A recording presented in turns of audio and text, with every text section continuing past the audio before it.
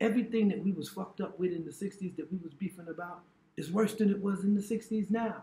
It's just gotten progressively worse. It's bigger now. We had few representatives in Congress. Now we got a congressional black caucus that don't vote on shit. what, what the fuck does that mean? We had two people in Congress that raised hell, it'd be better than the congressional black caucus with 50 something people that don't say nothing. So we got progressively, well, yeah, we got representation. Black mayors up their ass now and don't have shit. Cops still murdering them. Probably a black mayor in that town. Probably a black police chief that that motherfucker worked for. And if Q will come out there and say the officer was doing this job, a black man. He won't turn in his badge and resign say, I can't stand up in front of this press and say that that officer was doing his job because in all my consciousness and all my feelings, that could have been my baby, and I can't just stay here. And, and so I resigned.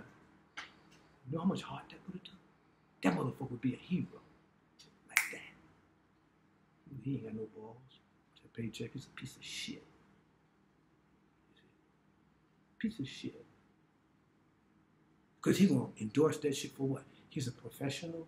He's going by the book. What book, motherfucker? What book are you going by? Huh? What book is this that was written that says you're supposed to stand up and endorse some shit like that? Because you're the police chief. And if you took some action on this cracker, Every cracker in the police department be talking about how you rush to judgment, how you know you, you racist, and you and you don't back our officers, and all of this shit.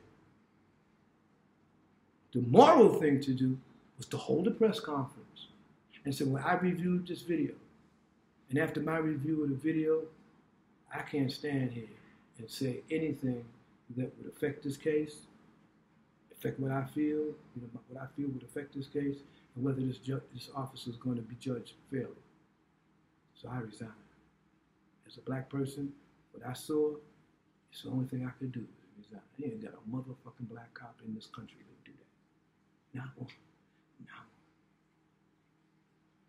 one. Not one, bro. You know how many police chiefs of all these towns and cities you got that's black? Not one. But couldn't they stay in a position to use their position? They can. They can. One person is not going to change that institution. I remember the cop that came out and suspended the cop that beat hit, beat me up. They got rid of that motherfucker on the board of the, the board of trustees, whatever the, the county board.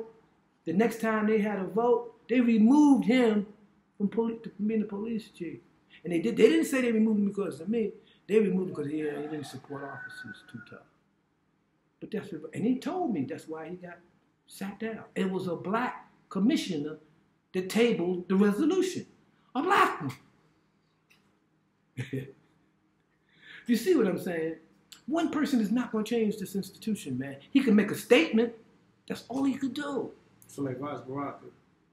Yeah, that's what I'm telling you. If Barack, remember I was telling you about Ras before he got elected. I said, man, Ras will do a good job if he don't become a politician. Didn't I actually tell you that? If you don't become a politician, well, Ras became a politician. Now, that does that mean I think Ras Baraka is phony and that what he believed did is bullshit and that you know? No, I don't. I don't. I really don't.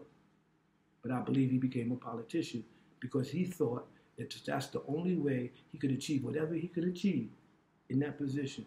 You understand? He didn't look at it as an abolitionist because the abolitionist wouldn't give a fuck if he got reelected. He wouldn't care. Because by the time I finish with this bunny, by the time I finish with this scrambling this egg, y'all will never put this shit back in the shell. I scrambled this shit the fuck up in my little four years.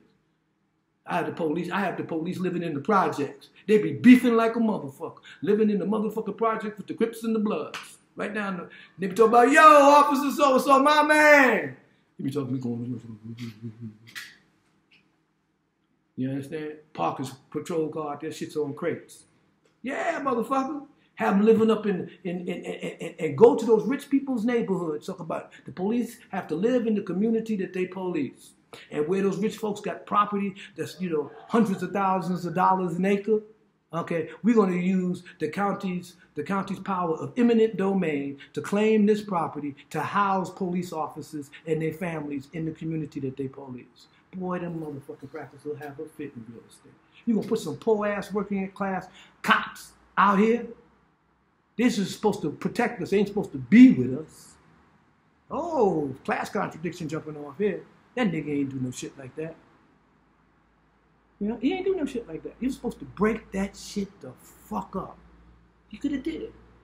He could have made residency clauses mandatory for probationary policemen.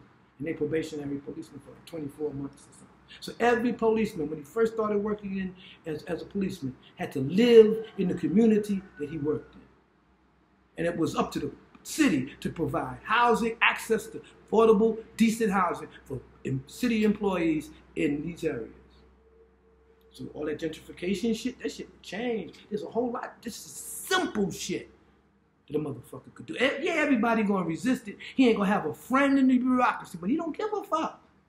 You remember? He's an abolitionist. Why would I care what the police like and don't like? I ain't gonna be here next year anyway. What's your man's in Brooklyn? Oh, Barron. Barron. Barron mm-hmm. and, and, and Lumumba. Yeah, the Lumumba. Barron is a whole different story. Barron, and you know, whatever you want to say about Barron, he got shit going on over there in this district. He got, well, you went out there with me. He got shit going on over there and getting people involved. And see, see, I'm not, I'm not on no shit where you can't do nothing unless you just burn the motherfucking house down. I ain't talking about that shit. Barron is a good example of that. You could take your politics, you understand, and empower people and create little things where now he got a whole community that literally he could call to arms if he wanted to. You ain't coming in this motherfucking community with that shit. And it's a wrap. You understand what I'm saying? And it ain't just some young kids coming out, some it's the old lady that got access to the apartment that she got now because of the subsidies that he created. So now she's in a nicer house, nice apartment. You know, she can go to a little health spa down the street with a little social security. Little shit like that. All politics is local. So I'm not, you know, I ain't talking about that.